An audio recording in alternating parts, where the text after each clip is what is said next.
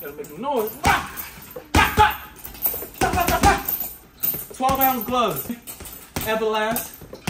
A little comfortable. KO somebody, rep. Make sure you get your Everlast 12 ounce.